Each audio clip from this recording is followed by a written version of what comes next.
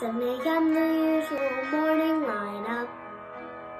Starting the chores and sweep till the floors all clean. Polish and wax, do laundry and mop and shine up. Sweep again and by then it's like 7.15 and so I'll read a book or maybe two or three. I'll add a few new paintings to my gallery.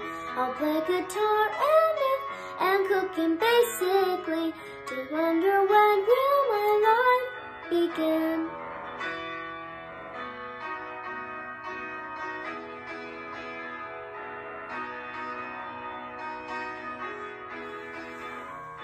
Then after lunch it's puzzles and darts and baking.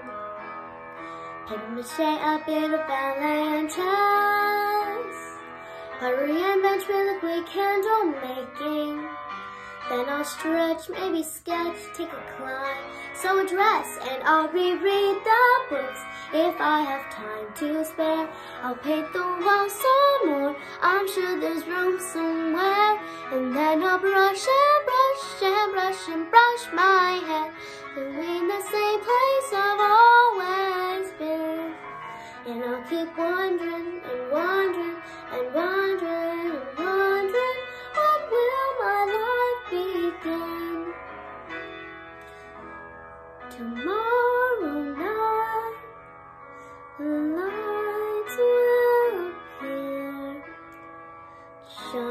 like they do on my birthday each year.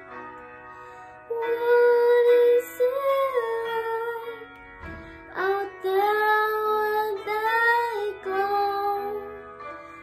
Now that I'm older, mother might just let me go.